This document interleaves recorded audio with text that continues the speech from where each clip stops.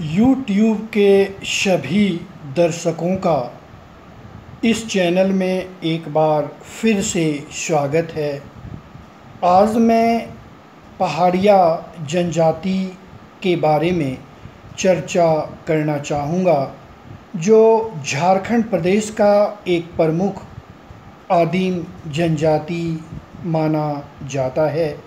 इसे मालेर जनजाति भी कहा जाता है, जैसा कि इसके बारे में बताया जाता है।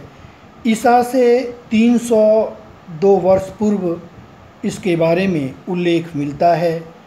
ग्रीक के इतिहासकार मेगास्थनीज और चीनी इतिहासकार फाहियान ने इसके बारे में उल्लेख किया है।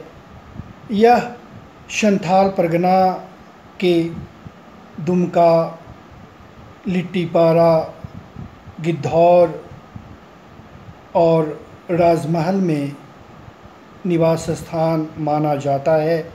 इसके अतिरिक्त रांची में भी कुछ स्थानों पर देखने को मिलता है।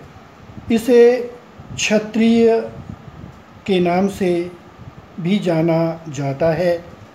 जैसा कि कहा जाता है, इसका कोई लिखित भाषा नहीं होता है, लेकिन उरांव जनजाति की तरह कुड़ुक भाषा से लगाव होता है।